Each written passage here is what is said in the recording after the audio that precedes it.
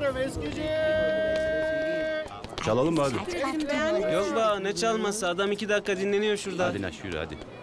Çok güzel olmuş gelinliği. Ay çok teşekkür Hadi, ederim. oturun. Çok sağ olun. Çok uğraştım ama bunun için. Bir ay sadece provayla uğraştım. E tabi. Biz de Kobra'yla evleneceğiz kısmetse. Aa öyle Tebrik mi? ederim. Ne zaman?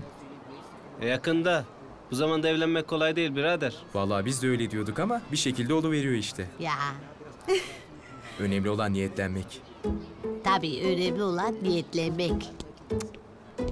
Siz ne kadardır tanışıyorsunuz? Ee, biz iki aydır. İki ay. Ana bu kadar az sürede.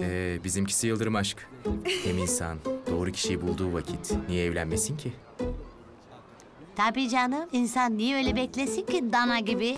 E sizin arkadaşlar geç kaldı be birader. Karşıdan geliyorlar. Daha yolları var. Haklısın tabii. Siz ne zamandır tanışıyorsunuz? Ben seni... Lan oğlum ne duruyorsunuz ya? Gelin var damat var hadi çalın bakalım. çalalım tabii ya. Canan abla ne duruyorsun hadi gel. Hadi. Hadi damat bey.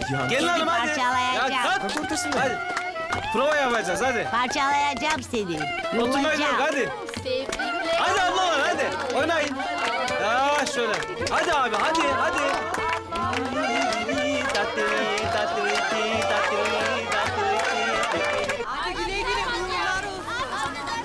Haklarında hayırlı olsun ha. Yakışıyorlar ama değil mi kız?